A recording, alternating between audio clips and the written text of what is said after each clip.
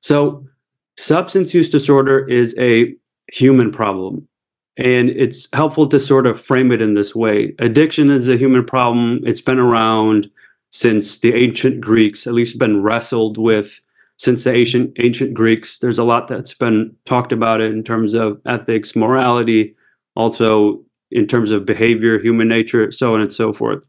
Addiction was addressed with the beginning of Islam as well. So it's not a new problem to Islam. Wine was a part of life in pre Islamic Arabia. There's at least 100 words for alcohol related beverages. Some scholars say many more. Uh, and it's all over Arabic pre Islamic poetry. Um, so the, the, the fact is, is it was a really important part of life. And the idea that Islam could interview, intervene on a societal level and change that is significant. So it's a human problem, and the Muslim response in that early community was a very human response. After the first ayah came down in Surah Al-Baqarah about intoxicants, some people stopped, but some people continued. It wasn't outright banned at that point. The second ayah came down, more people stopped, uh, but not banned, and um, some people continued. The second ayah, people were banned from continuing to prayer, to, from coming to prayer while intoxicated. So you almost see this this um, increase in spirituality and this decrease in substance use and s- sampling sobriety. So they were banned from coming to prayer intoxicated. What is it? What did that mean in the early community? That was their sort of core spiritual practice. They would come together as a community. They'd have that accountability structure support, and then also have the ability to pray and connect in a very powerful way. The third ayah came down and it was banned, intoxicants, and there was wide acceptance of it. But still, some companions struggled, um, as Dr. Hassan mentioned. And this was after the, the, the ban of it. So the point I'm trying to get across is they stopped, but through a gradual process of change and over time in a very human way. Um, so it's a human problem. It's a human problem. Muslims were affected back then, and they're affected now. Muslims needed support back then, and they need support now. Like Dr. Hassan mentioned um, about the companion that Prophet was kept a connection with him and um, supported him through that. Um, so you, you can almost look at it like a circle, like I have in the slide. The larger circle is the human circle. It's a human. Within that human, you have risk factors and you have protective factors. Where does Islam come in? Where does spirituality come in? It's a protective factor. So you have a small circle. If in somebody with an addiction, you're going to have a, a small f- circle that's going to be their protective factors. That's going to be overwhelmed by their risk factors, which is the bigger circle. So, you know, we're not going to go into risk factors. That's out of the scope of this presentation. But the risk factors for substance use disorder are essentially the same for Muslims and for people who are not Muslims. Risk factors are essentially access to substances.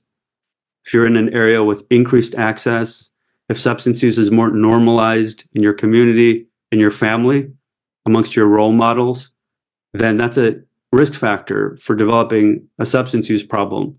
Also, stress. So, different types of stress, trauma, life stress, um, growing up with uh, with stress in the family, marital discord, or parents with marital discord, um, mental health conditions, so on and so forth. So, those are risk factors for developing a substance use disorder. Protective factors are sort of the opposite of that. It's a lack of access, um, so on and so forth. But one protective factor that's incredibly important is spirituality. Spirituality, in many studies, as we'll talk about soon, have been shown to be a protective factor against starting substances in the first place or experimenting with them, and also a protective factor from transitioning from substance use to addiction or substance use problems. So, then we come and we talk about treatment.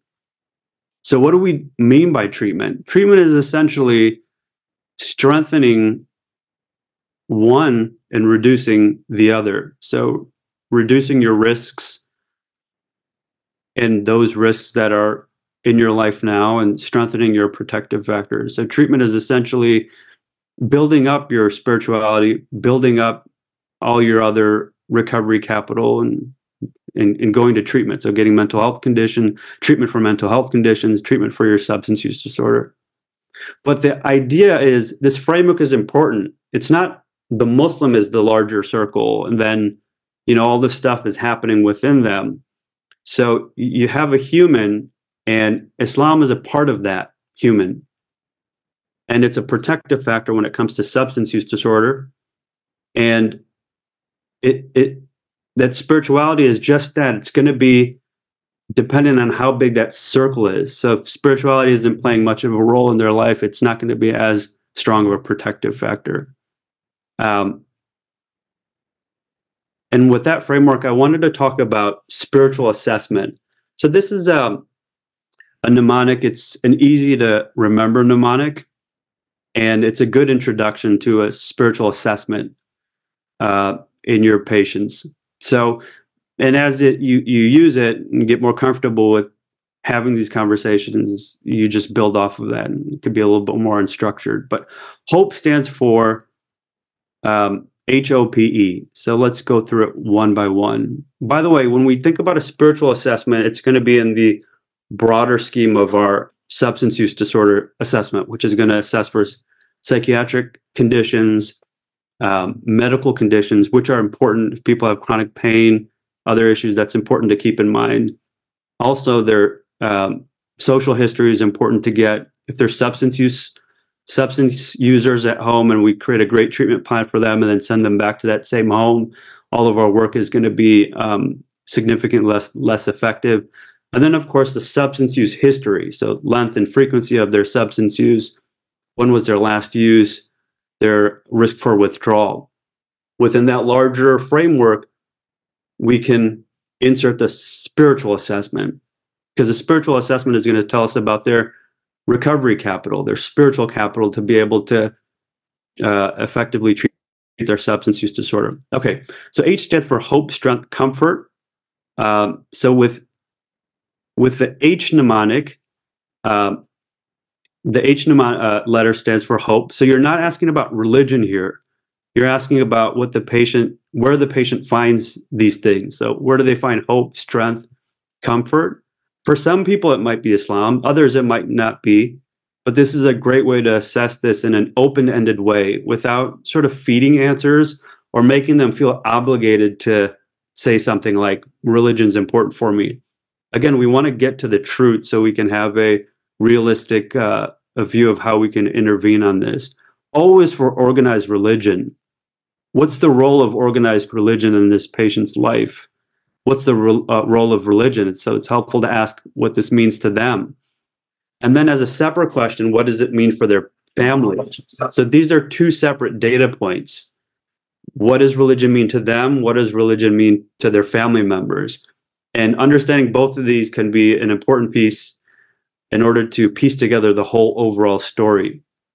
Because that can be two separate things, especially if you have a family member that's bringing in their loved one for a substance use assessment. You want to make sure you don't assume that what uh, what religion means to their family is the same thing as what religion means to them. And you want to try to refrain from any implicit assumptions. This is a hard one.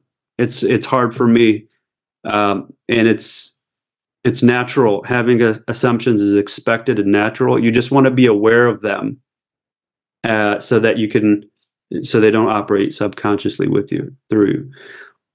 What aspects of religion are helpful? That's a question you want to ask. Um, and what aspects of religion are not so helpful? This is also important to get their idea of what their definition and conceptualization of religion is. Um, what what is sort of interfering with their life, and then also community. Are they part of a religious community? Do they pray Eid Salah, Jummah, Ramadan? Like, what is their engagement? How many times do they go to the masjid in a year? Those are questions that get an idea of what this means to them and paint a picture for you to intervene on. The P stands for personal spirituality and practice, practices.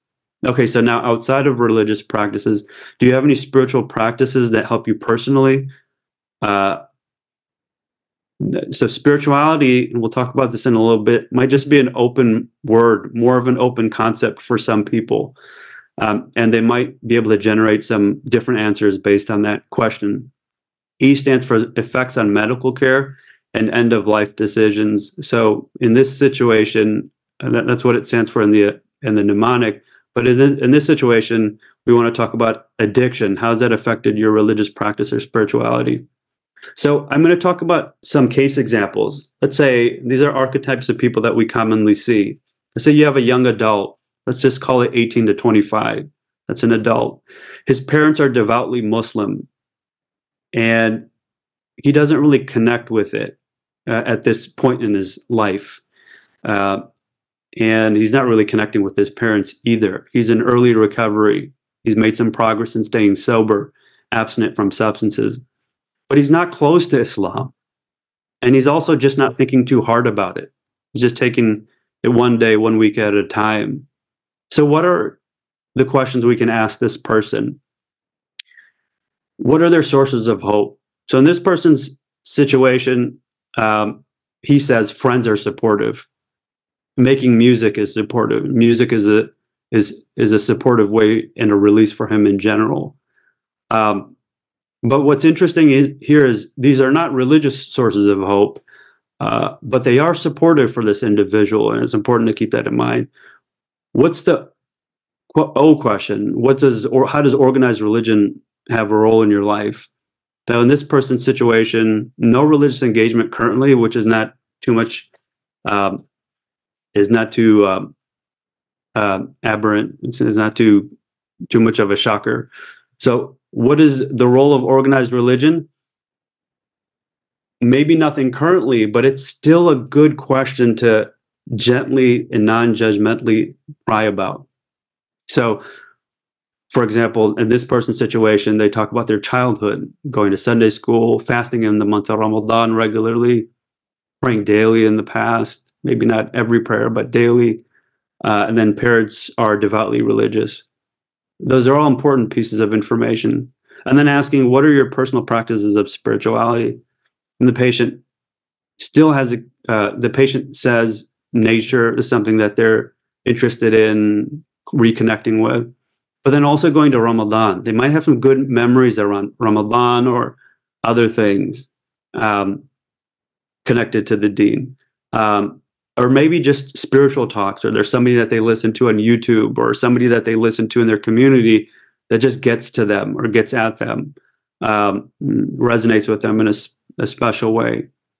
So, what's interesting here is this person still has a connection with spirituality that can be nurtured. Um, and then E, how does addiction affect religion, religion and spirituality?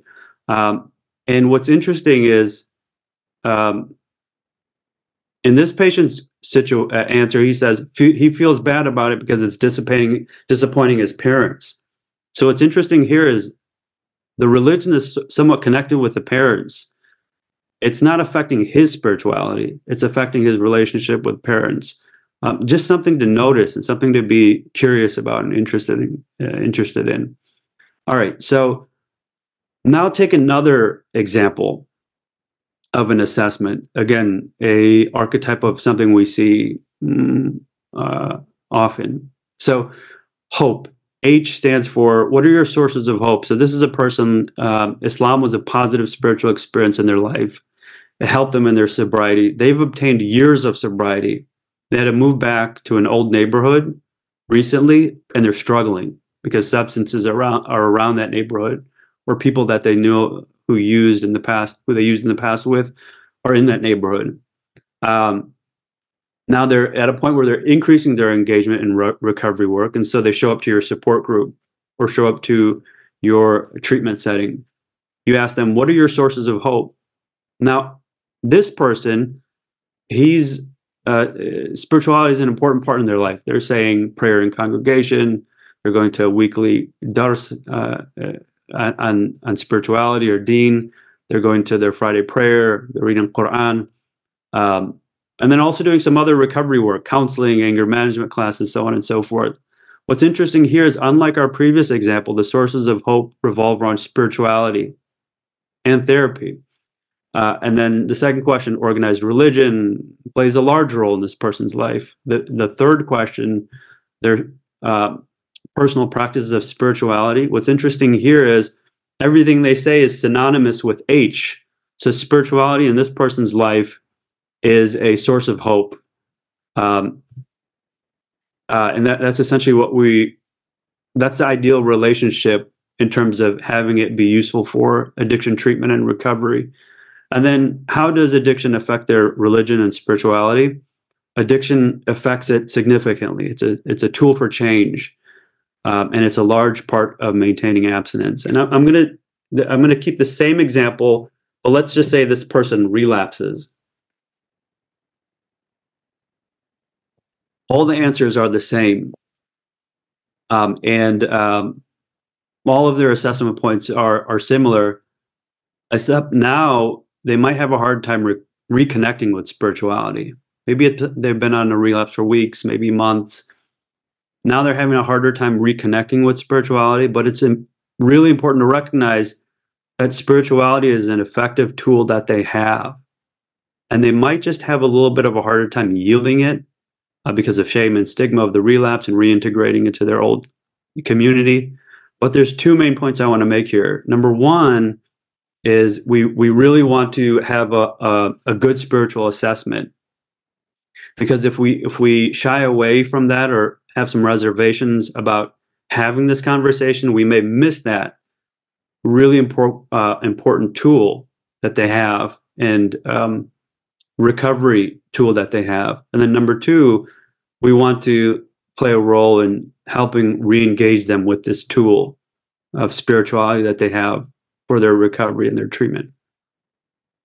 Um, okay, I'm going to talk a little bit about treatment now. Uh, now that we sort of concluded assessment, and talk a little about, about treatment and how spirituality situates its, itself in treatment. So first, I want to make that claim that spirituality is treatment. So there's a really great study, references at the bottom. Um, 73% of addiction treatment programs in the US include a spiritually based element, as embodied in the 12 step programs. Um, and the vast majority, of course, of the 12 step programs emphasize reliance on God or a higher power to stay sober. The study also commented or showed more than 84% of scientific studies show that faith is a positive factor in addiction prevention or recovery. Um, and there's many studies like this. And the, the, the point I want to make is that spirituality is not a detour from treatment. It's not something we're forcing into treatment. It's an essential component of treatment. Um, and that's something that we should um, keep in mind. Um, so when we think about treatment, here's some things that we tend to think about. We tend to divide treatment into these three dimensions based on the literature out there uh, and recognize guidelines, support groups, professional treatment like therapy, counseling, and uh, addiction treatment programs, residential programs, outpatient programs, and then medications for cravings, and then also medications for withdrawal or both. Now, spirituality is something that can be integrated in all of these and sometimes don't need to be integrated they're already a essential component of, of some of them like let's say 12 the 12 step programs uh, but for example with support groups um, spirituality can be integrated in support groups you can create support groups that are spirituality or spiritually based um, and um, or you can integrate spirituality into your group therapy, uh, depending on what your audience is or who your group members are. We'll go at the uh, we'll go into the end of some of these um, interventions that are available or that have been done, so that people can get an idea of how they can recreate that in their own communities, um, or get ideas of, of how to uh, recreate that in their own communities. Uh, and then professional treatment. So spirituality should absolutely be a conversation, therapy, and counseling, um, and and can be integrated in these areas as well. And then also medication management visits for for um, buprenorphine, methadone, um, and other medication uh, for substance use disorder. We have a lot of time in these medical visits in order to have conversations and integrate counseling and um, spirituality assessments, and then also um, spirituality. Um, all right, so how do we have these conversations? Once we assess, how do we intervene? I think it's important to um, look at the stages of change model and, and remember that the stages of change are not just for substance use disorder. Uh, it's for any goal. So, like we discussed the treatment dimensions before, the stages of change are really applied to that treatment. So, for example, if somebody needs a residential program, let's say they're homeless and this is clearly the choice that they need in order to gain any traction in their substance use problem. Let's say they're super motivated to stop using substances, but you, as the professional, say, no, you need a residential program. You're just not going to be able to do it on your own, or you need some treatment that patient can say, I'm in the action phase for stages of uh, in the stages of change, but really not in the action phase for any realistic plan for treatment. That patient's not in the action stage. We would consider them pre-contemplative or contemplative in terms of their um, stage of change for uh, their stage for change for any realistic change. So the point I want to get across here is that the stages of change model is not for I want to stop using substances or not. It's for what treatment are you ready to commit to or take action on. So, what is the patient's stage of change for a treatment program? What is the patient's stage of change for meetings? What is the patient's stage of change for spiritual intervention uh, for, for spiritual interventions? So, so you, you you can use the stages of change model and it's a good model to use also in trying to get an idea of where they're at in terms of their spirituality so for example when you have your patient who in our first example born into a muslim family still muslim but just not in a place where they're thinking too hard about them to, about spirituality you can put them in one of these stages of change uh, because again spirituality is treatment and again, stages of change are sort of the industry standard of how we counsel and motivate people uh, to enhance their motivation towards treatment. Um, and so you, you can put your patients in terms of their um, engagement in spirituality in one of these stages as well. So let's go through each stage one by one, and then we can sort of apply it in terms of um, how that makes sense for treatment as well. So, in the pre contemplation stage, the patient does not recognize they have a problem with substances and are not ready for treatment or changing their behavior. In the same way, you can, for Muslims, they might not want to talk about Islam. So, they might be pre contemplative for any treatment, including spiritual interventions or spiritual, integrating spirituality in their life. So, just like they're pre contemplative about their treatment program, they can be pre-contemplative about their um, wanting to integrate spirituality and Islam in their life.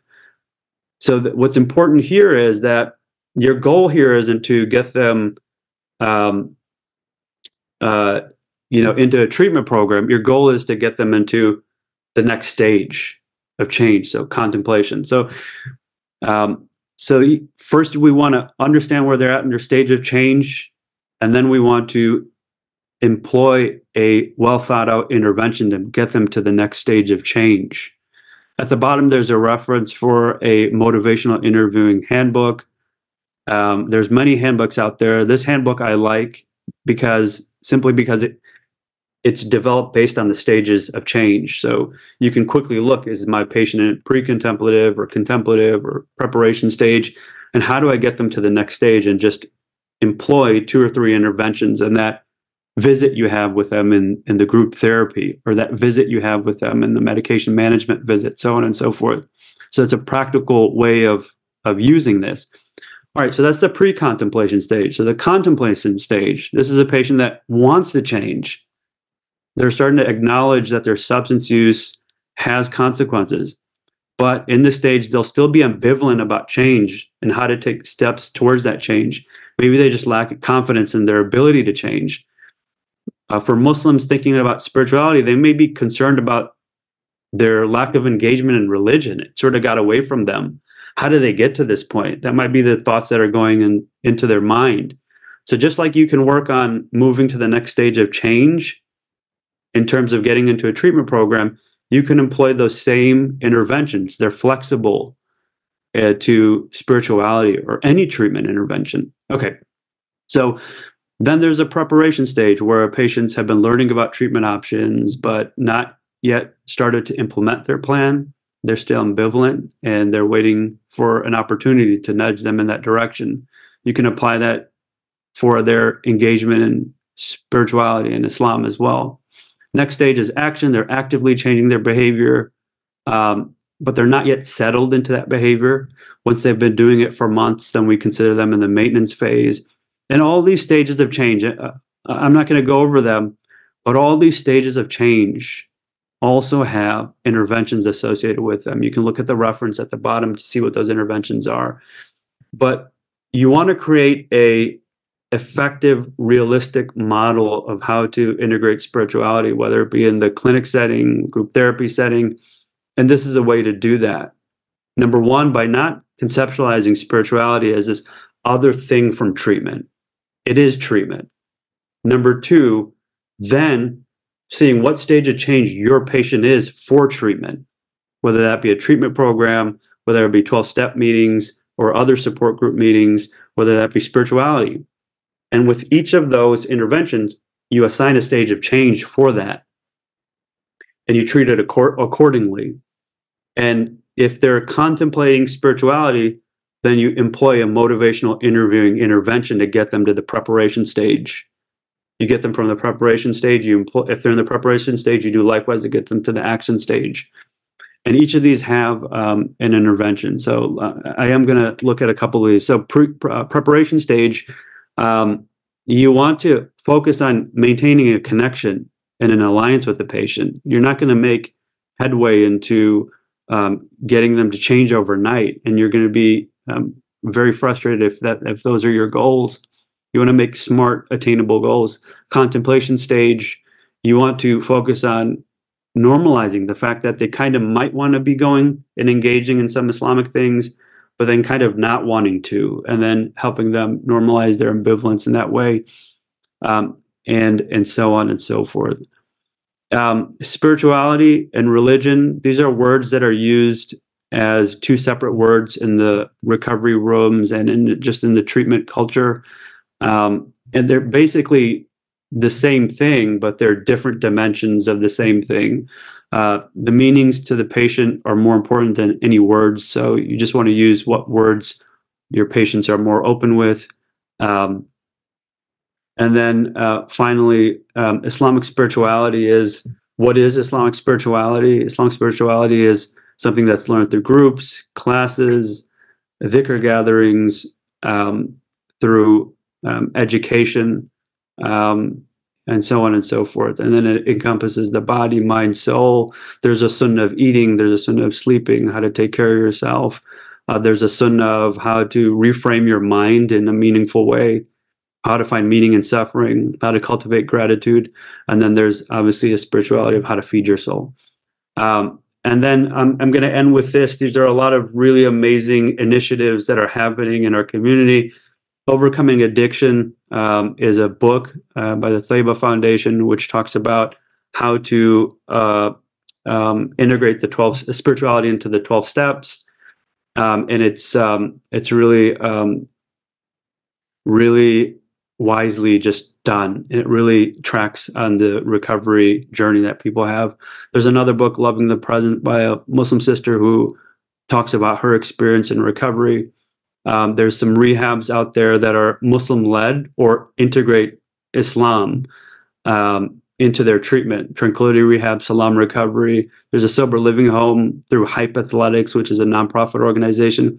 MCC East Bay, there's this is a masjid that is uh, hosts 12 step meetings and has a lot of um, social media content on recovery and addiction uh, for many different people on their YouTube channel.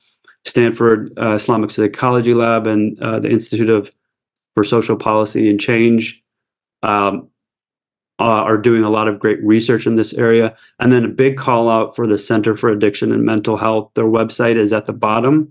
Um, uh, this is a Canadian organization, and and uh, Dr. Hassan mentioned it. I'm going to mention it again. It has a lot of really great, um, um, a lot of really great stuff there. So check out that website. And then Millati Islam is something that has been around for a long time, which incorporates spirituality to the 12 steps.